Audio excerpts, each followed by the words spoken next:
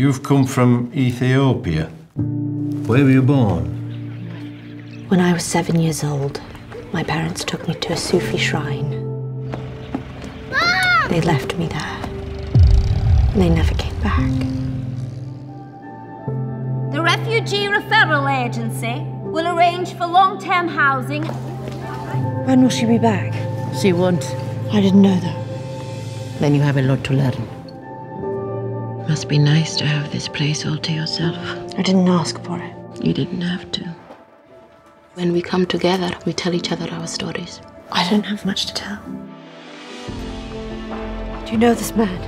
Who is this doctor to you? Come away with me. Just say yes. Yes.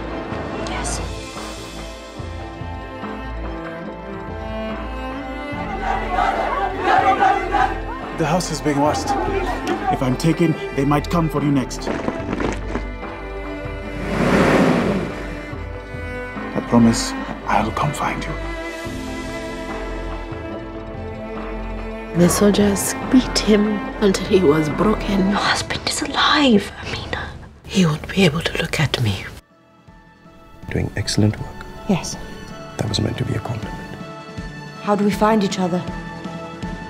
The Ethiopian Family Reunification Association. But there's no such thing. Oh, there is now. We can do this together.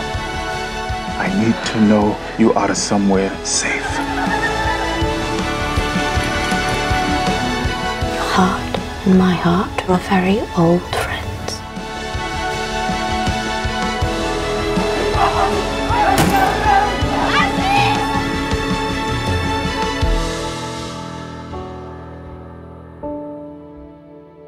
You are full of surprises, English girl.